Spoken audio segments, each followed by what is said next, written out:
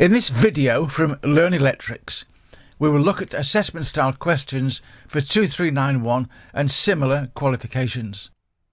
Assessments can take many forms. They can be short, multi-choice answers, a longer, more detailed answer, or a mixture of both. And the question will always tell you what type of answer is expected. Questions are designed to probe your understanding of electrical circuits and your ability to find the relevant information in the books and to calculate the answers. In this video from Learn the Electrics, we will follow the style of one typical assessment. You are presented with part of a schedule of test results and the eight questions that follow are all based around this. Sufficient information to answer the question is provided in the chart and in the questions. This is open book and you may use the wiring regulations, the on-site guide and guidance note 3. You will also require a calculator, pencil and paper. You are asked to consider the four circuits shown in this table, part of a schedule of test results, and to then answer a variety of questions about the installation. We have a domestic installation, and the earthing system is TNCS, and it is supplied from a public low voltage supply, in other words, the national grid. You are given that ZE is 0.2 ohms and all protective devices are BS EN 60898 circuit breakers. All the circuits are wired in twin and earth cable using reference method C or clipped direct. And the ambient temperature is 20 degrees centigrade with no correction needed for the assessment. Also assume that the appropriate RCD protection is in place. Reference material that you may use will be the BS 7671 Wiring Regulations 18th edition, the On-Site Guide or OSG to 18th edition, and GN3 Guidance Note 3 to 18th edition. Pause the video at the start of each question and attempt to answer the question. When you have your answer, move on and there will then follow a breakdown of the question and the method used to find the correct answer. And the correct answer will of course be given. Please attempt the questions. It will build your skills and confidence for the assessment proper. Let's begin with question 1. Calculate R1 plus R2 for circuit number 2 and choose the most appropriate answer from the four choices. The test results table is shown along with the question. Pause the video while you calculate your answer and make your choice before moving on. Begin with the table showing the test results. Circuit 2 is a radial circuit wired in 4mm twin and earth with a 2.5mm CPC or earth. The circuit length is 25 metres. Now we need to consult table B1 in guidance note 3. We observe that 4mm 2.5mm cable has a resistance of 12.02 milliohms per metre. Multiply this by the circuit length of 25 metres and we have 300 milliohms. To convert milliohms into ohms, divide by 1000. 300 divided by 1000 gives us 0.3 ohms. And that is the answer 0.3 ohms. Now on to question 2. This time we must calculate R1 plus R2 for circuit number 1 and choose the most appropriate answer. Again, pause the video while you calculate your answer and then make your choice. We are interested in the data for circuit number 1 as highlighted here. Notice that this is a ring circuit, very important when calculating R1 plus R2. 2.5 1.5 twin and earth has a resistance of 19.51 milliohms per metre. Multiply this by the circuit length of 40 metres and we have 780 milliohms. Now divide by 1000 to arrive at 0.78 ohms. This is not the answer. To find R1 plus R2 for a ring circuit, we must divide this number by 4. 0.78 divided by 4 is 0.195 ohms, which can be rounded to 0.19 ohms. Don't worry too much about small inaccuracies in rounding, the correct answer will still be fairly obvious. Question 3 is next. Now we must calculate the actual voltage drop for circuit number 3 and choose the most appropriate answer. We're told that IB, the design current, is 13 amps and we should use this in the calculation. Again, pause the video and work out the answer. The yellow box on the right has all the information that we know or have been given. On page 383 of the wiring regulations, we find that the maximum permitted voltage drop is 5% of 230 volts for a non-lighting circuit, and this is 11.5 volts. You should be familiar with the formula shown. This is the standard formula for calculating voltage drop.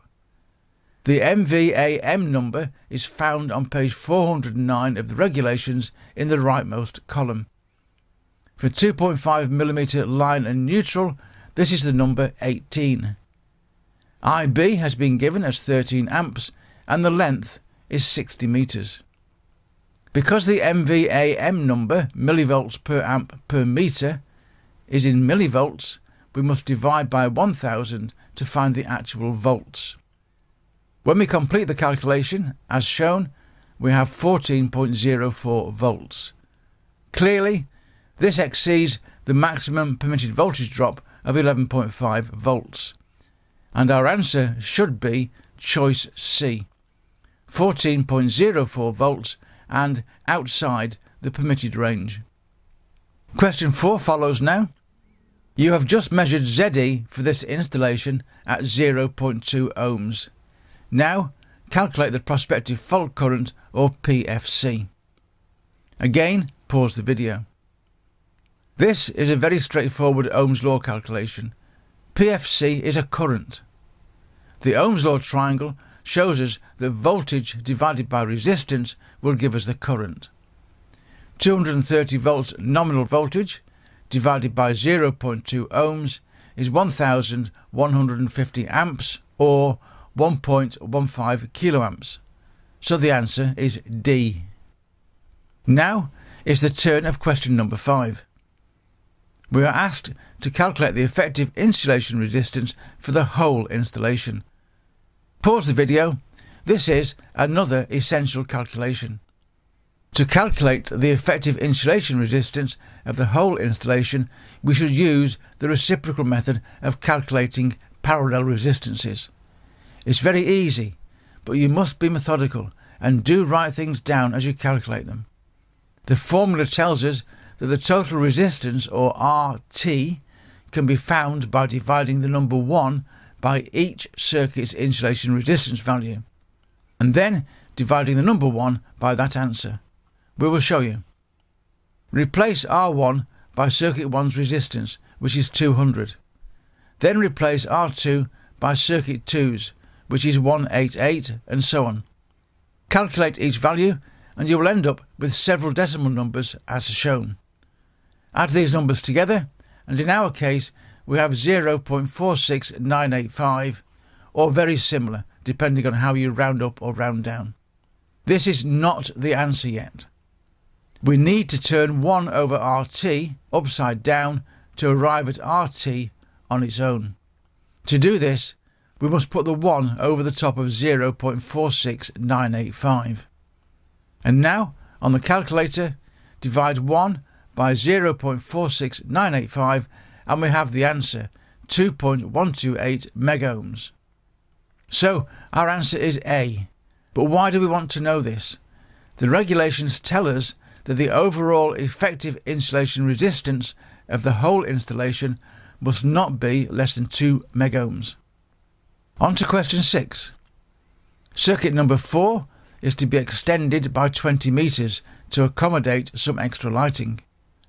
What will be the new measured ZS value and will it be acceptable? We can calculate this and it is always a good idea to know the new value before extending the circuit, just in case.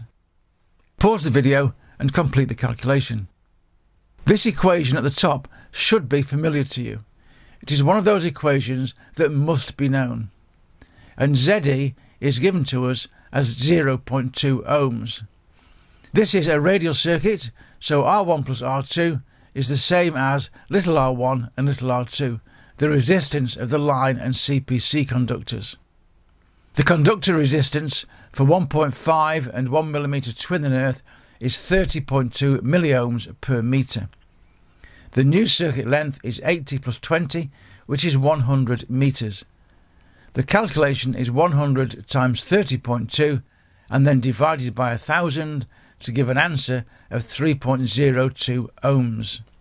Add this 3.02 to ZE, or 0.2 ohms, and we have a new ZS of 3.22 ohms.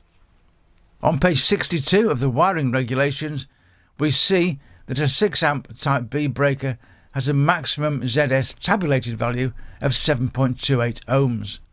If we multiply this by 0.8 to allow for temperature changes in the property, we have what is called the measured ZS or ZSM. This is the number that we compare to our test meter readings. In this case, the maximum measured ZS should not exceed 5.82 ohms. Our actual ZS has been calculated at 3.22 ohms and this is below the maximum permitted value. Therefore, our answer is C. Let's move on to question 7.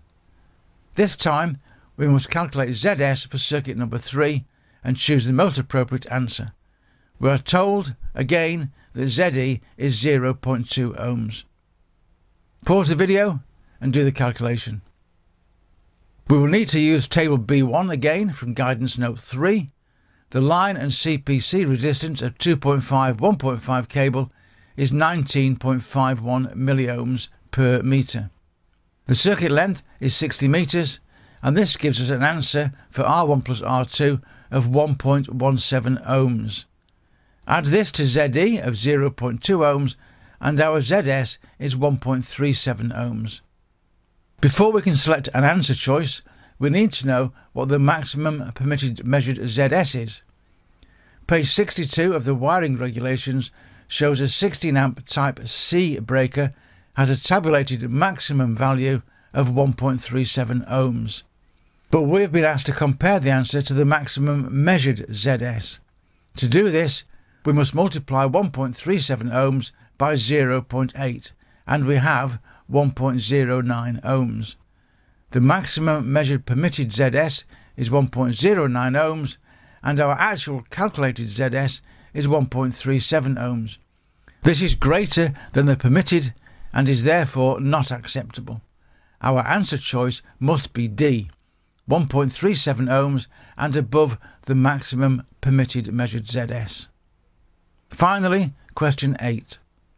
The question is, what is the maximum length of cable for circuit number 3 to not exceed the maximum permissible voltage drop of 11.5 volts?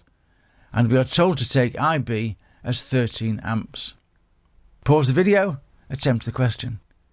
Shown here at the top is the standard formula for voltage drop or VD. But we want the maximum length or L. We must therefore transpose the formula. If we jiggle the formula around, we end up with the lower formula. Now, it is just a case of putting the numbers into the calculator. The maximum permitted voltage drop, or max VD, is given at 11.5 volts. 1000 is the number to convert millivolts into volts. 18 is the millivolts per amp per meter number for 2.5 millimeter conductors, which is found on page 409 of the regs and we've been told to use 13 amps as IB. Calculate these through and our answer is 49.14 metres. We can round this to 49 metres and choose answer D. Well, there we are. We hope that you enjoyed these assessment practice questions. Please do attempt each question and do revisit the questions and solve them again. Everything is practice and this all helps for the assessments. Different exam bodies will have slightly different question styles, but understanding one style will always help with another. The description to this video contains links to other Learning Electrics videos that will further help your knowledge and understanding. Good luck and keep learning. There is more to follow. Thank you for watching this video. It is very much appreciated. Please subscribe to our channel to get access to all of our videos and remember to click on notify to be sure of not missing our next video. Here are some tips on getting even more information and help out of learnelectrics.com. At your web browser, enter learnelectrics.com into the search bar, search learnelectrics.com from the choices offered, and the website as shown will open up for you. You now have a couple of choices. You can search for a help item or any video by entering a keyword into the search bar on the right. Click on return and all the help files and videos with that word in the title will be listed for you. They will be shown with a short description and each video listed will have a link shown that will take you directly to that exact YouTube video. Or you can browse through the list of all the available items and videos. To do this, click on the LE logo on the top left of the home page and all our items and videos will be shown. There will be 10 items shown on each page and at the bottom of each page is a page selector, page 2, 3, 4 and so on. That will bring up the next 10 items or videos in the list. And don't forget that you can also type in Learn Electrics, all one word, into the YouTube search bar to go directly to our channel at any time from any computer. We are constantly adding new videos to our channel. Don't miss the next one. Once again, thanks for watching and we hope to see you again very soon.